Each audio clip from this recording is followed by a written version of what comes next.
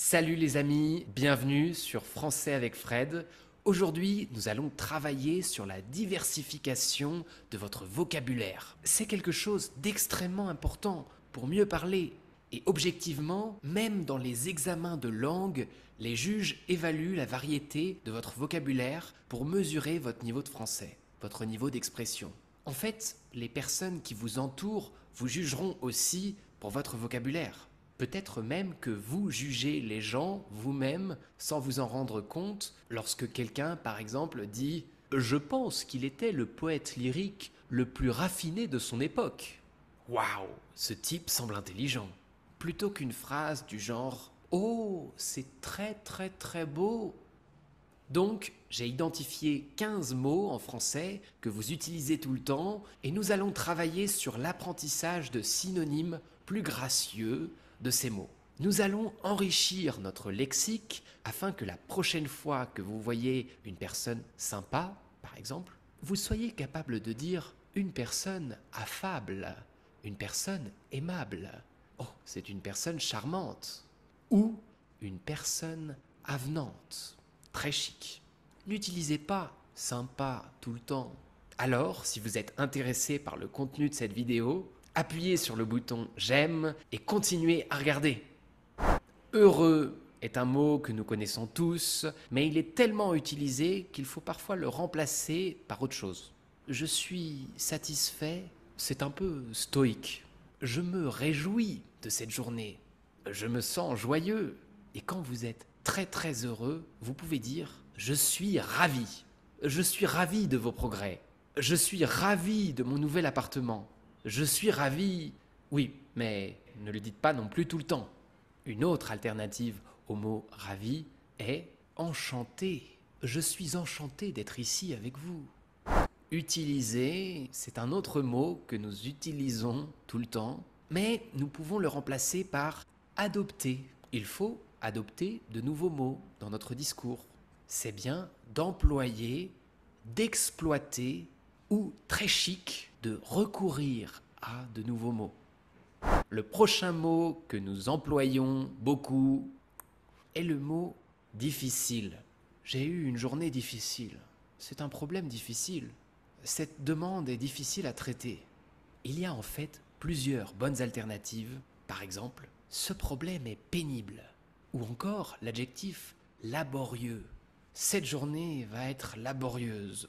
Cela signifie qu'il vous faudra beaucoup d'énergie pour la traverser. Vous pouvez également recourir au mot exigeant. C'est un problème exigeant à gérer. Nous utilisons souvent le mot vraiment.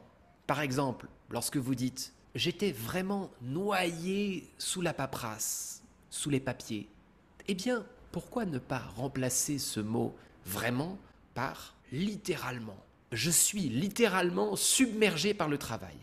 Ou je suis véritablement débordé. Véritablement. Le mot suivant que nous utilisons trop souvent est le mot plus. Vous pouvez me donner plus de ceci, je veux plus de cela. Au lieu de dire plus tout le temps, il y a plusieurs alternatives que je veux que vous commenciez à utiliser, et pas seulement connaître. Vous pouvez dire davantage. Par exemple, j'en veux davantage. On peut aussi remplacer plus par supplémentaire. Au lieu de dire je veux plus de détails sur ce problème, vous pouvez dire j'ai besoin de détails supplémentaires sur ce problème. Alors bien sûr, ces mots ont parfois un sens légèrement différent, mais vraiment, oups, véritablement, ils rendent votre discours plus professionnel et vous ressemblerez plus à un locuteur E. Vous ressemblerez davantage à un locuteur natif. Sympa. Oh mon Dieu. Et merci beaucoup les amis, ceux qui sont abonnés sur YouTube. Et chaque fois que je dis sympa, vous me dites Fred, mais tu nous as appris à ne pas utiliser ce mot tout le temps. Coupable. Mais vous savez, ma tante disait que un bon moyen d'apprendre quelque chose, c'est de l'enseigner. Bref, c'est génial parce que je sais que c'est une erreur très courante, que je fais aussi. Ce n'est même pas une erreur, mais disons que c'est du langage pauvre. Et c'est la façon dont nous parlons sans nous en rendre compte. Donc, c'est quelque chose à travailler. Ainsi, Le mot sympa peut être remplacé par attrayant quand on parle de l'apparence physique de quelqu'un, charmant quand on parle de son caractère, plaisant peut être utilisé pour décrire une personne, mais aussi pour décrire un événement ou même une conversation. Cette conversation était plaisante. Vous êtes charmant. Alors, certains de ces mots ont un sens un peu plus profond que le simple fait d'être sympa. Et en fait, les gens apprécieront davantage un compliment de ce type. Vous êtes charmant plutôt que sympa, parce que c'est juste trop commun, très général. Décrire, décrire le problème d'une certaine manière, pour décrire la personne d'une certaine façon, et ce décrire se retrouve dans chaque paragraphe. Varier un peu en disant par exemple qualifier. Le problème a été qualifié de sérieux. Ou encore caractériser. Henri est caractérisé comme une personne calme, sereine, etc. En colère. On l'utilise dans beaucoup de situations. Oh mon Dieu, ma copine est en colère parce que je suis en retard pour le dîner. Oh, mes parents sont en colère parce que je ne suis pas venu ce week-end. Au lieu de dire ce en colère tout le temps, vous pouvez utiliser d'autres mots. Par exemple, mon mari était furieux parce qu'il a préparé le dîner pour la première fois en cinq ans et j'étais en retard et tout a été gâché. Furieux est un excellent synonyme. Une autre façon très éloquente d'exprimer ça est de dire que vous avez eu un débat houleux. Un débat houleux, c'est-à-dire que vous vous disputiez, que vous vous battiez avec votre femme, par exemple. Aussi, au lieu de dire que cette femme était en colère, vous pouvez dire qu'elle était fâchée, irritée, enragée, furax. Le mot suivant que nous aimons beaucoup dire est le mot beaucoup. J'ai beaucoup de problèmes, j'ai beaucoup de travail, j'ai beaucoup d'amis. Nous disons ce mot tout le temps. D'excellentes alternatives sont bon nombre.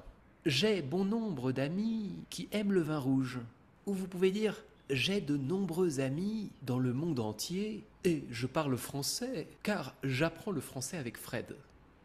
Au fait, merci beaucoup à tous ceux qui partagent leurs progrès en commentaire car c'est la meilleure chose qui puisse m'arriver lorsqu'on enseigne le français à des gens sur YouTube et qu'ils reviennent vers vous pour partager leurs progrès. Quelqu'un a récemment dit qu'il a pu entrer dans son université de ses rêves à Paris. C'est top.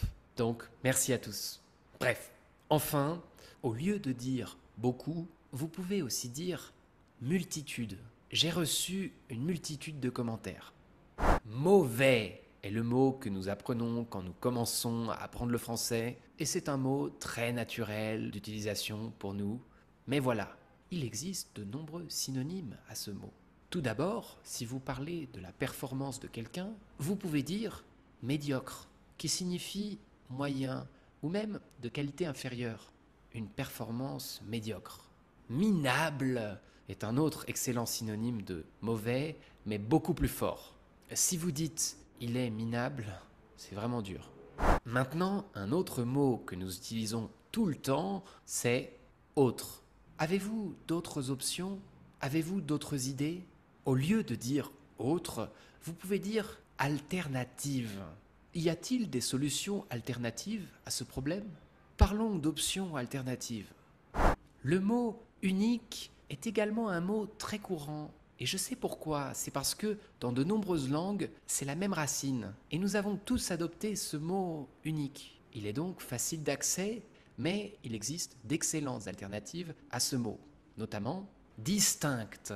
Donc, au lieu de dire elle a cette caractéristique unique, vous pouvez dire elle a cette caractéristique distincte au féminin, au masculin distinct. Vous pouvez aussi remplacer par incomparable. Vos résultats sont incomparables.